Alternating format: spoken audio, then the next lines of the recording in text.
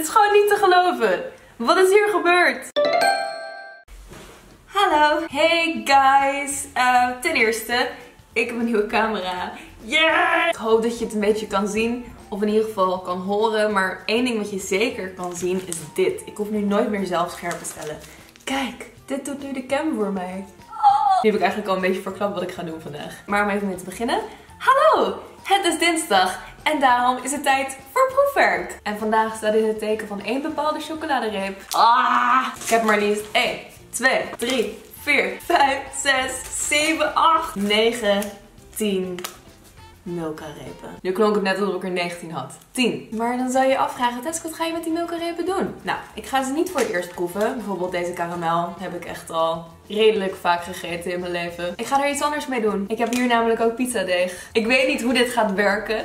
Ik weet niet wat het gaat worden. Maar ik ga een Milka chocoladepizza maken. En dit was een suggestie die ik kreeg in mijn comments in mijn video van een tijdje terug. En het leek me eigenlijk al een heel goed idee. Dus laten we het gaan doen. Allereerst, dit is de winnaar van de vorige winactie bij de vorige proefwerkvideo. Ik geef deze week een Milka reep weg aan een van jullie. En als je die wil winnen, laat dan een comment achter. Like de video en abonneer op mijn kanaal. Als je die drie dingen doet, dan maak je kans. Comment over gewoon wat je maar wil. Wat voor video's je misschien zou willen zien. Laat het maar weten. En dan gaan we nu een Milka pizza maken. Oh my god.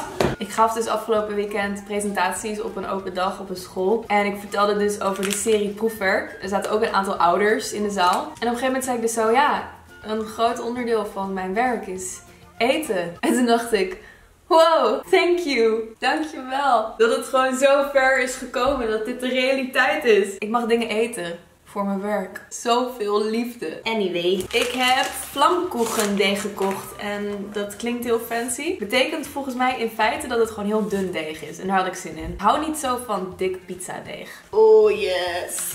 Come to mama. Net zoals de vorige keer ga ik niet het hele deeg doen. Dat is echt veel te groot. Nee, het wordt een kleine, subtiele pizza met 10 Milka-repen erop. Maar er zitten dus nog wel Milka-repen tussen die ik nog nooit heb geprobeerd. Er waren er nog maar een paar die ik nog nooit heb geprobeerd, maar ze zitten ertussen. Maar laten we gewoon even met de basis beginnen. En iets simpels pakken wat we allemaal wel eens hebben geproefd. Laten we beginnen met een witte Milka-reep. Dit is gewoon simpele witte chocola.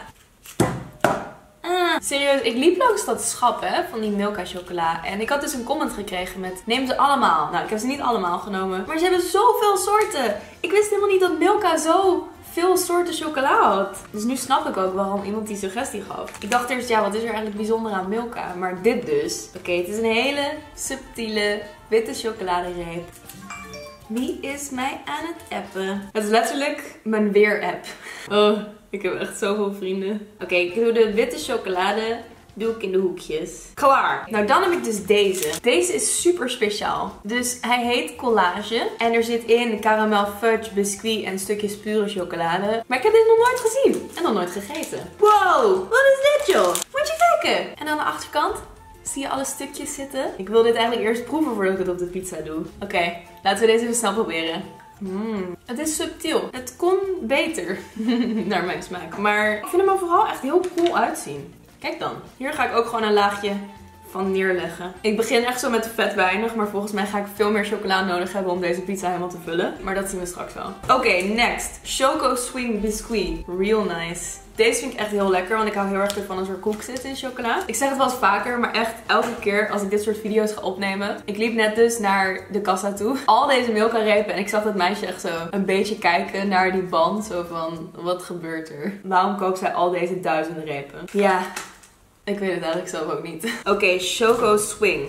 Hier zit dus koek in. Oh, zo lekker. Ik ben benieuwd als dit zeg maar smelt, wat er dan nog overblijft van die koek. Sowieso ben ik echt super benieuwd hoe dit eruit gaat zien als het in de oven is geweest. Och, oh my god. Dit ziet er nu al fantastisch uit. Heb ik wel genoeg chocola überhaupt? Dan hebben we Milka Chips Ahoy. Met koekjes en romige vulling erin. En I like this. I like this very much. Oh, dit is zo lekker. Deze hier aan de zijkant. Maar ik hou het alleen aan de linkerkant. Nu is het alweer even genoeg. Ik denk namelijk dat ik steeds al bijna klaar ben. Maar ik heb echt nog zes repen hier liggen. Milka en Dame. Als je niet weet wat Dame is, probeer het eens een keertje. Het is best wel bijzonder. Het is echt heel knapperig. Volgens mij zijn het een soort van gekarameliseerde amandelen. Als je hierop koud krijg je het ook onmogelijk weg uit je kiezen. Dat je gewoon na vijf uur denkt van, wat proef ik? En dat er nog een stukje Dame in je kiezen zit. Altijd leuk als dat gebeurt. Oh shit, ik heb een stukje over. Het past niet meer. Wat moet ik hiermee doen?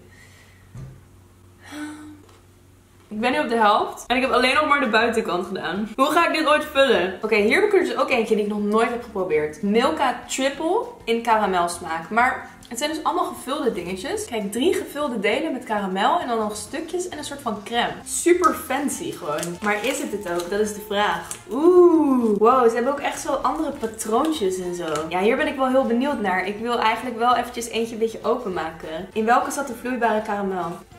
Mm. Weet je wat zo nice is hierbij? Ze laten dus op de verpakking zien van oké, het is karamel en het is vloeibaar, want het druipt eruit. Maar heel vaak als dat op de verpakking staat, dan is het dan van binnen gewoon echt van die droge karamelsiroop of uh, dan is het gewoon hard of zo. En hier is het gewoon echt zacht en vloeibaar en gewoon de bom gewoon basically. Oké, ik denk dat dit heel interessant gaat zijn, want dit zijn dus allemaal gevulde dingetjes. En als het dan in de oven gaat, ben benieuwd wat er van overblijft. Oh. Milka confetti. En dit is gewoon Milka met een soort van Smarties erin. Ja, dit is redelijk simpel. Hier zit gewoon allemaal kleine soort van Smarties in. Deze is ook niet zo super bijzonder, maar wel heel lekker. De Caramello. Caramello? Ik dacht dat het gewoon karamel was. Caramello. Waarom caramello en niet karamel? Het is een vraag die nooit beantwoord zal worden. Deze is zo zacht. Hier, er droopt nu ook alweer allemaal karamel uit. Het smelt echt zo weg in je mond. Ugh. Real nice, real nice. We zijn er bijna, jongens. We zijn er bijna. Ik heb nog een hele grote Oreo. Dit is natuurlijk iedereen's favoriet. Ik kon ook gewoon geen kleine versie hiervan vinden. Ze gaan er gewoon vanuit dat mensen dit zo lekker vinden dat ze toch geen kleine reep gaan willen kopen. En dus maar echt een monsterreep. Holy shit!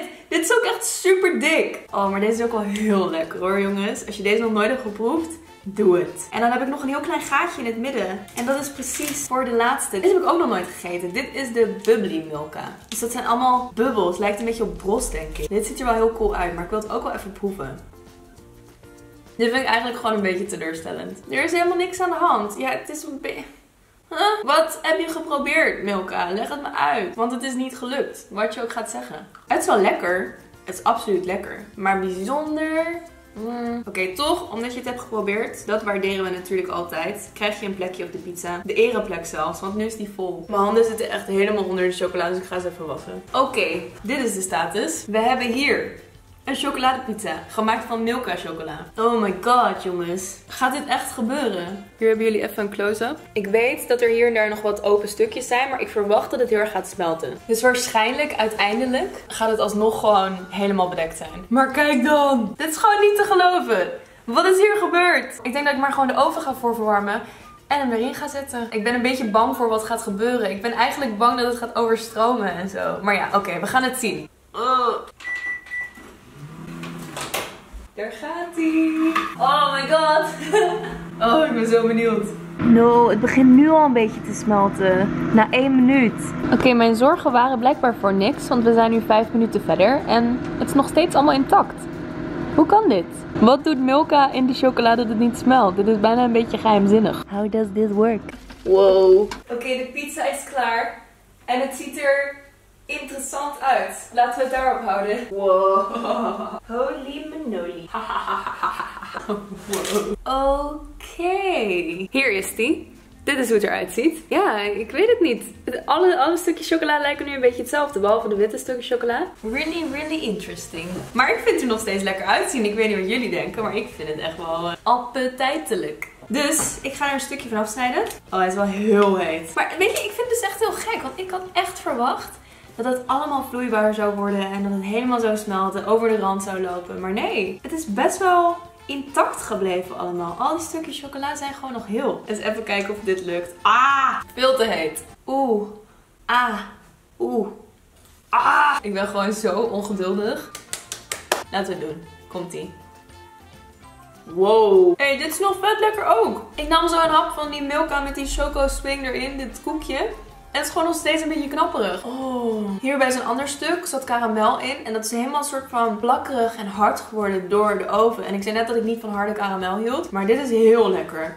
Echt zo super plakkerig is het geworden. Toffee-achtig. Oh my god. Dat is wel echt veel. Oh, mijn lichaam. Oké. Is dit wat mijn leven is? Ja. Ben ik er blij mee?